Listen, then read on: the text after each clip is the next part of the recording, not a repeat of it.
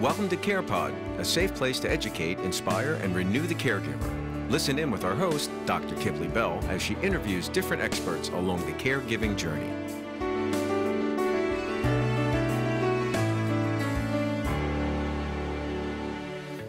So I'm really excited today. I'm with a friend and I'm with a woman that I really have a lot of respect for. Like, you know, it's so cool in life to have other women that you emulate, that you respect their path. Look, I'm tearing up. Uh, and that you you know, hope to be when you grow up. So I love it. I love it. So I'm here with my friend Jean Brooks, and uh, Jean is just this multifaceted woman, and um, she is what we term the older adult active person, right? And yes. I I really wanted to sit with her and I think it's important. Listen, I'm going to be 50 in September. How about that?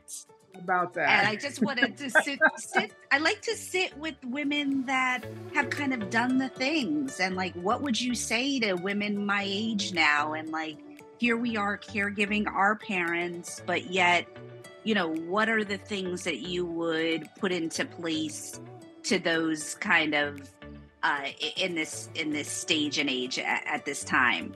It's kind of it's a scary place in a way. Like, you know, we're not celebrating as many birthdays and weddings. You know, we're doing the funerals of parents and the things. So, yes, yeah, so I'm going to stop talking. I want to introduce my CarePod audience to Ms. Jean Brooks. Welcome to the CarePod. Oh, thank you so much, Kipley. I when you were describing it, I'm thinking, who is this person? I don't know her.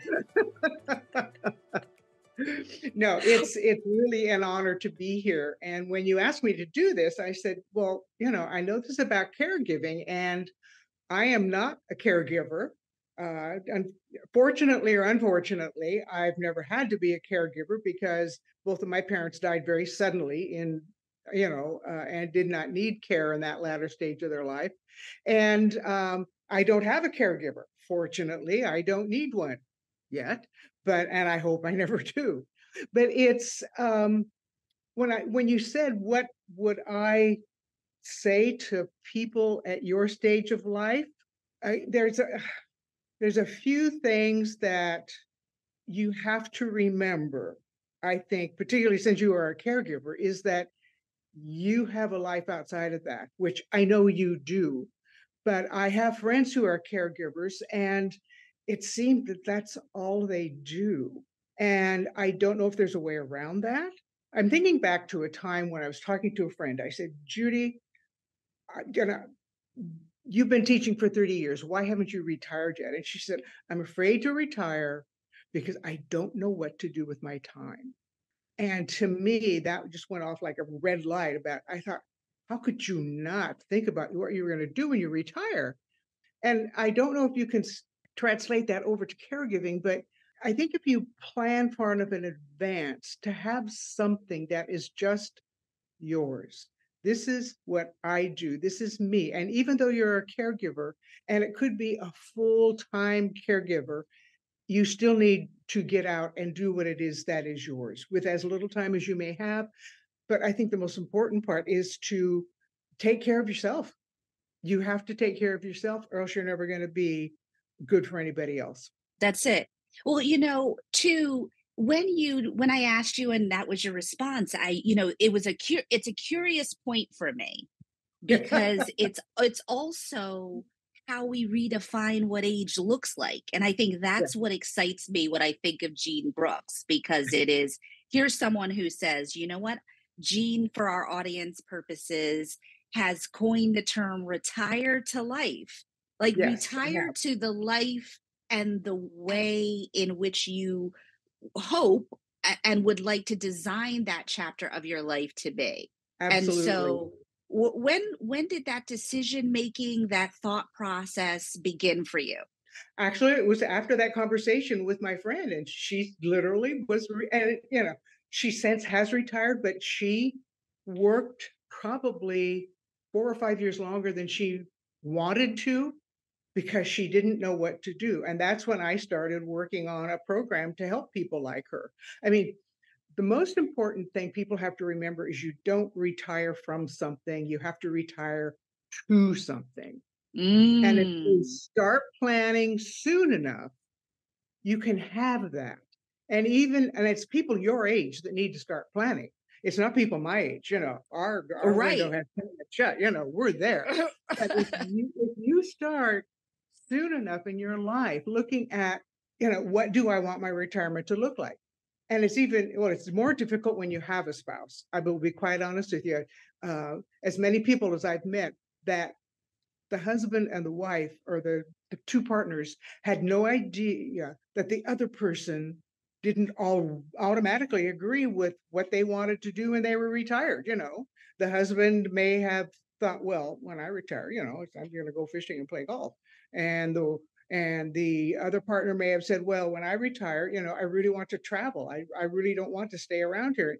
And I maybe I want to live someplace else. Maybe I want so there are so many decision processes that you have to go through and you have to be honest with each other or else it's never going to work it it just you know that's yeah. it you and it's and i think that's that's that's th- those are important points i think you know like i'm looking at my cohort of friends and i'm saying listen and the decisions we make now in this decade will determine yeah. how our subsequent decades would look and that that means our food choices our mobility our exercise all the things right? That's right. So, yes particularly your health. If you don't have good health you're never going to enjoy your retirement period. That's, that's it, it. that's it. that's it. And your purpose you know like i found i i have had patients that they literally can say i have you know whatever it is 482 days and 62 hours left to retirement day yeah and yes. then their their lifestyle goes because yep. they have no purpose they've gone from a purpose filled job to no plan it's like stepping off a cliff and that's why unless you make a plan it you know you're going to have about six months of coasting of God, oh God, I can finally clean my closets. Oh, you know, I can do this. I can do all these things I've been putting off. And then what?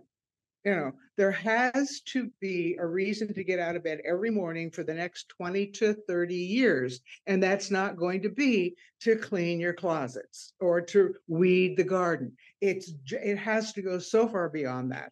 So far. Yeah. So tell me about your earlier work life. Tell our tell our oh. audience about your multifaceted self.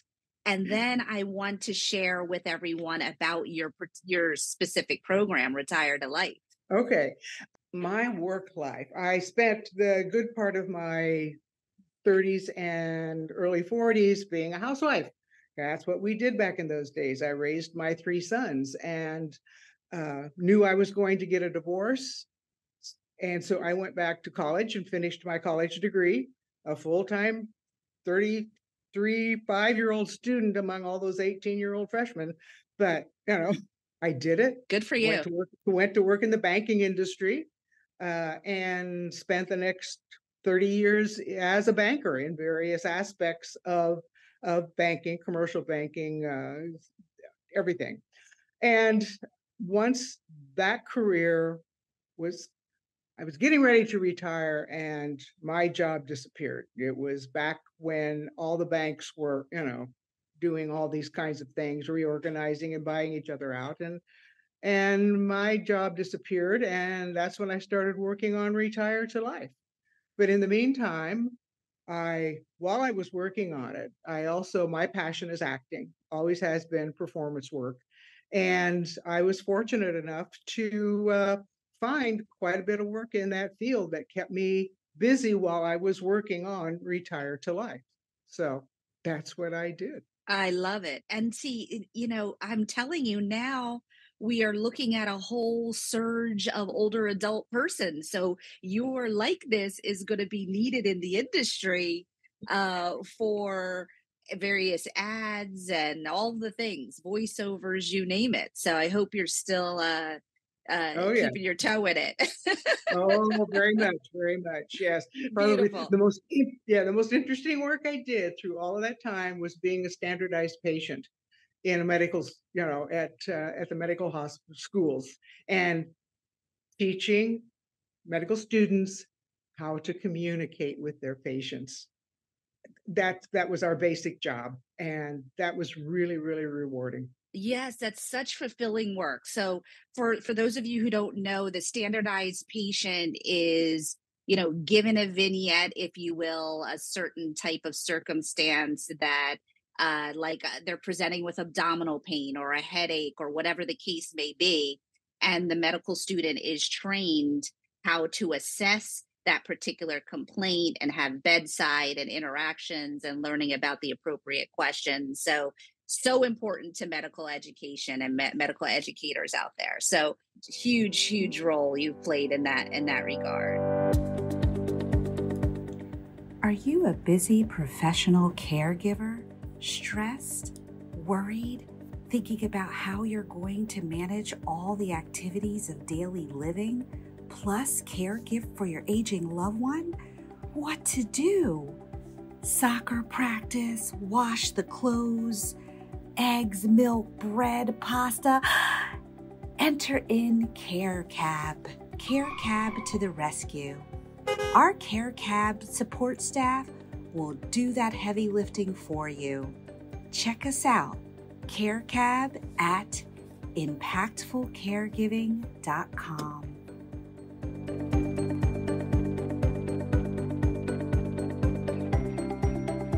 Um, yeah. So tell me about so you were thinking about this kind of later chapter.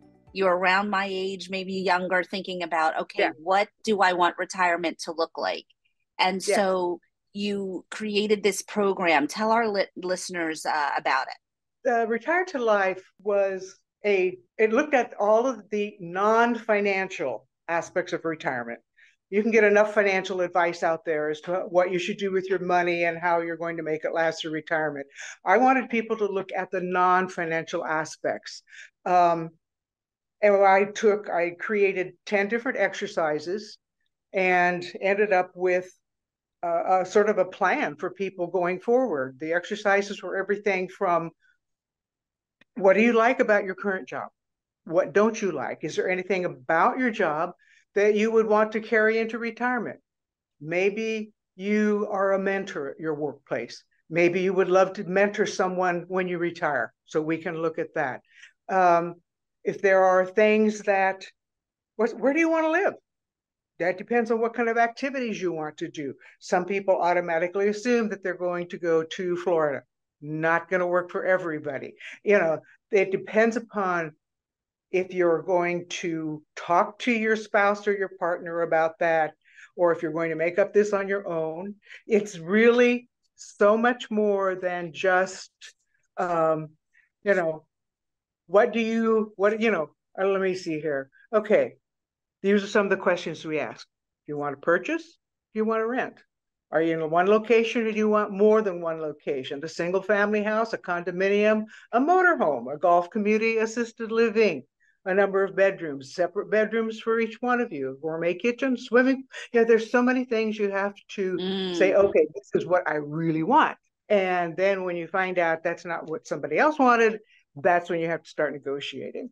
Sometimes during this whole process, I always wanted it to be a face to face seminar arrangement so that people could sit in smaller groups then. And one of the fun um, steps that I took them through was you know, you sim when you leave your job, you sort of disappear. You don't know who you are. How do you describe yourself? You know, it used to be, you know, here's Kipley, you know, uh, mm-hmm. she's a doctor and she runs this and she does that and she does that. But when you retire, it's like nobody knows anything else about you except your work story. So I suggested people make up their new business cards that said something like, well, I'm a connoisseur of life. You know, Jean Brooks, connoisseur of life, or I'm a maven of movies. whatever. So when people Love say, that. What do you do? You can hand them your business card with your contact information on it, like you did for so many years. You know, I think that's really, uh, and another group exercise that I would take people through was uh, doing random acts of kindness. Just thinking of small little things you could do, maybe not on a daily basis, but you know, it's one one of the things that I used to love doing was going to the library, and going to the children's section, and putting a dollar bill in a book. I love that. So some kid comes to the library, picks up this book, and a dollar bill falls out. I mean, you know, it's just a small thing, but it's amazing how good that can make you feel. You know, putting a quarter in a parking meter. Yeah, it's it's really um, something that you can work into your life that gives you meaning. You know, another thing I had people do was to literally write out their life story. I had two pages of questions as sort of a guide but it's amazing when you look back over your life at the things that you maybe have enjoyed and then totally forgot about that you could bring back in your, you know. I had one gentleman who used to draw cartoons for his junior high school newsletter. He said, I had totally forgotten about how much I really enjoyed that. So he started sketching again. I have a friend who went to an art meeting with another friend simply because Sue went with Kathy because Kathy was afraid to go on her own. Sue ended up being the most magnificent watercolor artist I have ever met. And she didn't start this till she was almost 70. So, wow. And, Love yes, it. Yes, lots of stories like that. So, when, when you put this all together, I'm, there's one more thing that's very important your connections. When you leave your job, those connections dry up they all everybody's going to say oh yes you know we'll see each other. We're going to do this we're going to do that. So seldom happens. I'm very fortunate. I have a group of four from when i left my last bank and we still get together and that's been over 10 years ago. But so many of the other people that i knew from then that i really enjoyed but they disappear. So you have to work out a way to find your next community your next group. Mm. i just mm. moved where I'm living now. I'm still looking for those people, but I will find them. I know I'll find them. I love that. I love that. It's like find your tribe.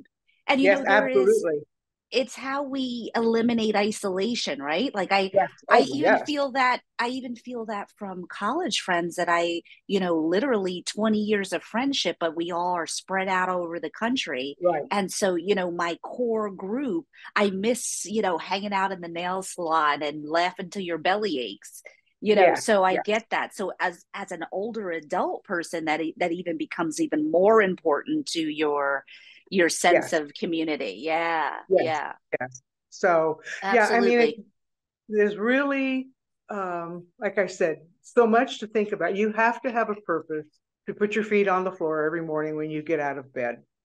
And if you don't, life will be very slow and very short. If you're mm-hmm. not, it, your mental attitude so affects the quality of your health. It really does. And unless you like what you're doing and where you are, um, you're going to cut your life short. You really mm-hmm, will. Mm-hmm. So, who is Jean 10 years from now? Okay, 10. Oh my God, Kipley, 10 years from now, I'll be 88. I don't know. That's awesome. You sure will. You sure will. 10 years you from sure now, will. I hope that I am still able to drive out to the Midwest to see my family because I do that. In fact, I'm going to be doing that uh, in June. Uh, I will drive out to see my uh, my grandchildren's 17th birthday and wow. twins, and then back into Nebraska for my 60th high school reunion. Love it. And uh, drive up to Minnesota to reconnect with friends that I made when I lived in North Dakota. So, yeah, I still want to be able to do that. I am uh, starting to work on uh, putting together cabarets, you know, singing for people, Love telling it. stories. So I hope I can continue doing that. At that age, the acting opportunities are going to be few and far between, you know. But I think doing the cabarets and working with, uh, you know, probably at that point it'll be senior institutions that you know you just go in and sing all the old songs that people love, you know. So that's uh, that's what I see myself doing. I love it. it. so what's what's your favorite song? Oh my gosh. You know what? I don't, I can't do that. I love music. I can't do a favorite song. But my very first cabaret that I did, I opened with the song Running Wild, which that's from the Great American Songbook. And because it's, you know, says I, you know, I I don't care anymore. I'm going to do what I want to do and I'm going to do it my way and I'm not going to depend on anybody else. And it's running wild, lost control, mighty bold, feeling gay, reckless too, carefree life all the time, nothing's blue. And I, and I love that song. It's an upbeat it. song, and yeah, yeah. And you're writing your narrative. You're you're living. You are retiring to yes. life. Beautiful. Yes. yes. Beautiful. So you know I'm going to rope you in. Like we're going to talk offline on how we take retire to life on the road because I I just okay. think it is it is necessary. It is it is necessary. I say yeah. to so many people, I'm not anti a lot of things, but I'm anti retirement. Like yes. Yes. I I have really seen so many so many people over my career just decline tremendously because yes. of the lack of purpose and plan. And it's just it's yeah. So yes yes yes. Well i'm so thankful you joined me today. Any last uh you know words for our audience? Uh plan. Plan and you'll be happier and maintain your health or else you won't enjoy any of those plans Awesome. Well, I'm so thankful. Thank you for being with us today. Thank you for asking me, Kipley. It's been a blast. Beautiful. Great information right from the source. For more information on how to care give like a boss, check out impactfulcaregiving.com. Want to be a guest on the show? Contact us at CarePod at impactfulcaregiving.com.